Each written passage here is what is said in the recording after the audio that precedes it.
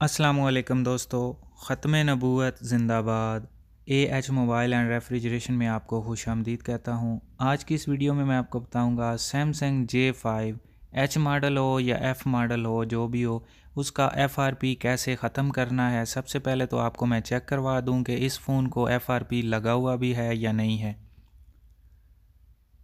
तो दोस्तों, ये अभी हो, वाईफाई आपने कनेक्ट कर लेना है। उसके बाद आप दे, हम, आपका नेक्स्ट होगा। अगर आपका नेक्स्ट नहीं हो रहा तो फिर समझ जाएँ कि एफ़ आर पी लगा हुआ है। तो अभी मैंने एफ़ आर वाईफाई कनेक्ट करके नेक्स्ट किया तो ये अभी आप देखेंगे कि यहाँ पे गूगल का अकाउंट हमसे मांगा जा रहा है और नीचे स्किप का कोई ऑप्शन भी नहीं आ रहा। आप देख सकते हैं यहाँ पे। तो ये मैं कर रहा हूँ यू डिवाइस के साथ। तो ये होगा कंप्यूटर के साथ। तो हम चलते हैं कंप्यूटर स्क्रीन पे और देखते हैं वहाँ क्या करना है।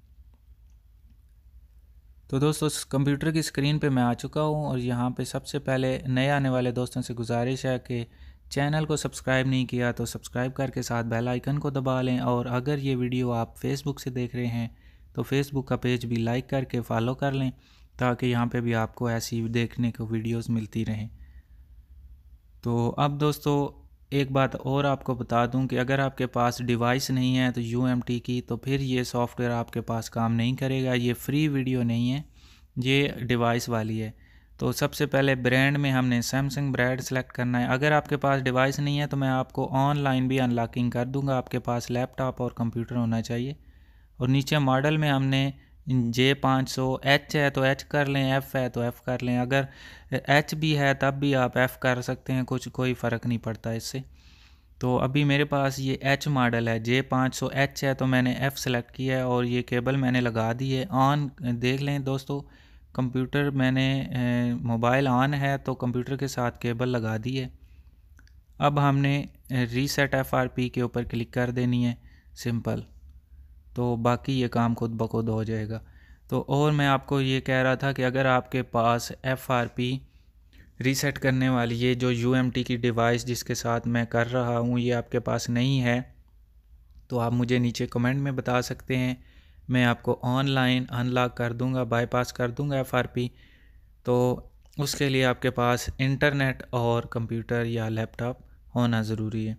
अब दोस्तों एफ़ आर पी रीसेट के बाद ऊपर मैंने जब क्लिक किया है तो फ़ोन खुद ब खुद डाउनलोडिंग मोड पे चला गया आप देख सकते हैं, खुद ब खुद डाउनलोडिंग मोड पे जाने के बाद ये अभी पोर्ट इसकी बना लेगा। बल्कि ओके कर दिया है इसने पोर्ट और ये अभी एफ़ आर पी रीसेट हो रहा है। कुछ ही टाइम में ये रीसेट हो जाएगा। ये देख सकते हैं, नीचे एक लाइन जा रही है आगे। तो ये कंप्लीट हो गई और उसने एफ़ आर पी रीसेट कर दिया है। और ये आप देख सकते हैं, हमें उसने बता दिया एफ़ आर पी रीसेट हो चुका है। अब हम फ़ोन को चेक कर लेते हैं। तो फ़ोन भी बल्कि आप देख सकते हैं, खुद ब खुद रीस्टार्ट हो चुका है। तो यहाँ पे थोड़ा सा हम वेट कर लेते हैं, क्योंकि रीसेट के बाद इसने थोड़ा सा टाइम लेना है।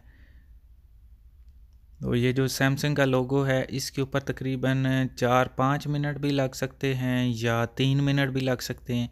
यानी दो से ढाई से तीन मिनट लगेंगे।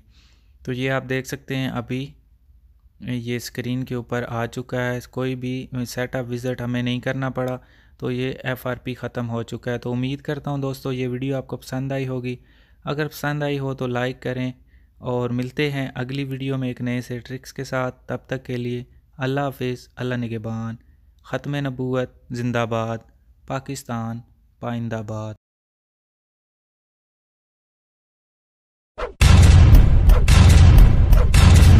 future.